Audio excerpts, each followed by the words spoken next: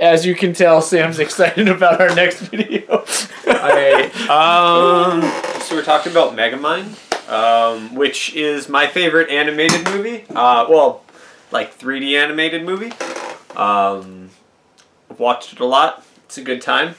I actually have no idea who makes it. Uh, it's a, it's a DreamWorks film. So it's a DreamWorks film. It stars Will Ferrell, Brad Pitt, uh, Tina Fey, uh, Jonah Hill. Jonah Hill's great. Yeah, he, he he's really good. Will Ferrell also he does a very very very good job. Yeah. Uh, who play Who plays Metro Man? Metro Man is played by Brad Pitt. All right. Um, yeah. I, I also love Brad Pitt. This cast is awesome. oh. All right. Um. All right. Well, Steph, break it down. All right, so stepping stepping into the world of Metro City, you have the do-gooder Superman-esque hero known as Metro Man, voiced by the one and only Brad Pitt, and then you have his over-the-top nemesis known as Megamind, and his minion, whose name is Minion, played by David Cross, uh, who are out for uh, earthly destruction, and their main goal is to defeat Metro Man, as most villains' uh, jet dream jobs are, and to take the city for their own. Now, the part where this movie switches it up is, you know, he succeeds. Yeah. Or at least he believes he succeeds. And then it focuses on, you know, the villain's point of view when he doesn't have a hero uh, to fight. Yeah. You know, so Sam, what do you think of the fact that you know we're finally getting to see uh, a villain, so to speak, win, but it wasn't in a live action film from Marvel or DC, but it's from a you know a family film from DreamWorks. Yeah. So. I guess what's kind of fun for for one, Megamind uh, is an alien.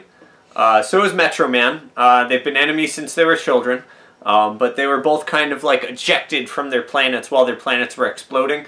Uh, and while Metro Man lands in um, like like this upscale rich white neighborhood, uh, and he gets like everything that he could possibly want. He can fly. He can shoot lasers. He's Superman. He's just Superman, uh, minus kryptonite that that doesn't exist. Uh, at least not in this show. Um, Mega Man, on the other hand, uh, lands in in a prison uh, and is raised by the prisoners. Um, and uh, also, he's an ugly blue man with a giant head. Uh, so, while Metro Man is like super powerful, Megamind, uh, his main power comes from like his big brain, right? Because you know, big head, big brain. Um, and he creates a whole bunch of tools uh, to help him fight off uh, or defeat, hopefully, eventually, Metro Man. Uh, and he has a sidekick, Minion, who's a fish, uh, who, well, is like a big fish inside of a bowl. Um, so, anyways, uh, getting back to what you were asking, kind of the point of this film and what's cool about it is that uh, instead of in movies like uh, like Joker, Yeah. where um, you know he succeeds, but then he kind of is just insane, right? Uh, and it ends there. Um, or when Thanos, right? He he completes his goal, and then he's like, "I'm gonna be a farmer." um, Megamind realizes, like, yeah, I'm a bad guy. Like, Zangief is a bad guy, but does that really mean that Zangief is bad guy? You know, like, Megamind isn't actually evil. He is just uh, the opponent of Metro Man. So after Metro Man's defeated, his new life purpose stops being being evil, and it starts to become like, you know, how can I how can I become better? And and uh, that that's inspired by love, which is something that I don't know. Maybe maybe Stefen will tell you more about. Sure, certainly. I think before we touch on you know uh, the change right uh, in the story direction, could you say though like had the tables been reversed right? If Megamind was in a house and nurtured with love, not that the prisoners didn't love him, but he's totally a product of his environment, right? Yeah. He's surrounded by people who perhaps are in jail for horrid, horrid things, and they're like, hey, this is how you do things. You want to shank, you go like this. You know what I mean? Uh, that's a bad accent. I apologize. So anyhow, but uh, like like Sam was saying, right? It's it's definitely more of a, a character study of a villain, right? Like like coming to terms with, am I really a bad person, or am I just been cast in that role, so I've been trying to live up to that for so long.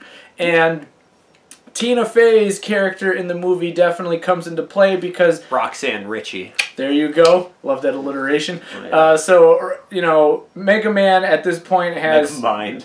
Oh, Mega sorry, Mega. an arm. Mega- They're both blue though. they are both blue. Yeah. Sorry. Uh, so Megamind is is is sad. He's sad about the loss of his foe, and um, you know he's at the Metro Man Museum, and Roxanne Ritchie rolls up, and then he quickly uh, has this funky device that lets him uh, transform himself into uh, the body of anybody that he. Uh, yeah, yeah, Yeah. The body of anyone who Bernard. Bernard. Yeah, so he shoots this like lowly librarian dude with this like type of transformation gun. Bernard becomes a square, a square, Oh, he's a little cube. little cube Yeah, dude. little cube. And, uh, it's uh, it's the dehydration ray, and it um turns you into a little dehydrated cube. If you add water though, like it, the person becomes a person again. Yeah, it's like a tree. Just Yeah. so anyway, the point the point I'm making is Roxanne and Megamind share in the in a moment of missing Metro Man, right? And the fact like they he feels like he doesn't have a purpose anymore, and she feels like you know the city no longer has a savior.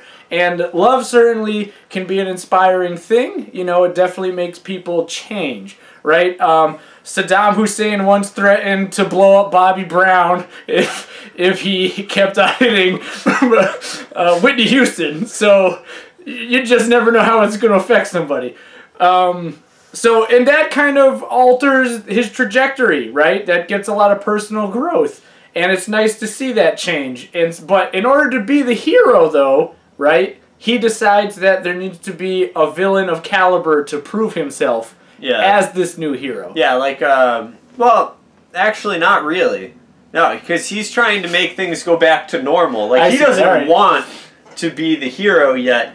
He only ever wants to be the hero because this new bad guy that he make, or this new good guy, whose name is Titan, uh, also likes Roxanne Ritchie, except he he does it all in the wrong way and terrifies Roxanne Ritchie, and then Roxanne breaks his heart, and then Titan like starts destroying the city and is like trying to kill um, Roxanne. So Megamind comes out to fight him.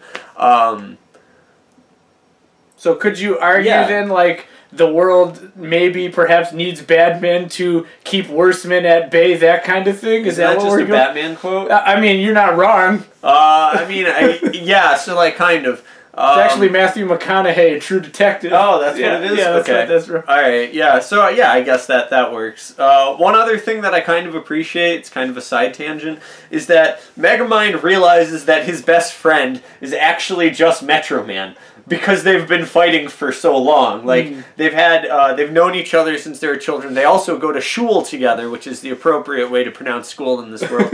uh, so um, so yeah, so they've known each other a long time, and they've always had like conflict with each other. Um, so, but in in the end, they become like best friends, even though Metro Man, uh, you know, is dead and in hiding. Uh, yeah. So I don't know. It's uh, it's it's a good film. Uh, it's kind of like a roller coaster of a superhero, supervillain character study. Um, you know, fueled by jealousy and love and and like you know all the emotions under the sun. And simultaneously, it's also uh, a pretty competent comedy. Um, you know, it has a lot of big names uh, for the comedy world in it, and uh, it definitely delivers in uh, in that regard. Uh, it is dry humor though, so like if you're if you're into dry humor, you'll probably be into this. Absolutely. You know, if you're a fan of like uh, the Incredibles, Incredibles two, this one I would argue is just like uh, like a pinch more, like maybe PG twelve. You know, PG ten, right? Like uh, there's there's something in it for everybody. Not quite thirteen. Not quite there. It's a little bit under the bar, but you know, uh, very, very, very well done. And um, you know, David Cross, I think, as Minion, kind of steals the show in a lot of ways. Yeah, I, I'll take my thing and leave. yeah. You know, so David Cross, I really hope somehow down the, the line there's a sequel, Megamind two. I'd love to see you and Will Ferrell you know, be back at it together. Yeah. Sam, you want anything you want to add before No. we split? I mean, I think we covered it. I think I think it was pretty good. Yeah. Definitely check out Megamind though. The movie's solid. Um, yeah. No, I don't know. and stay tuned for our next video.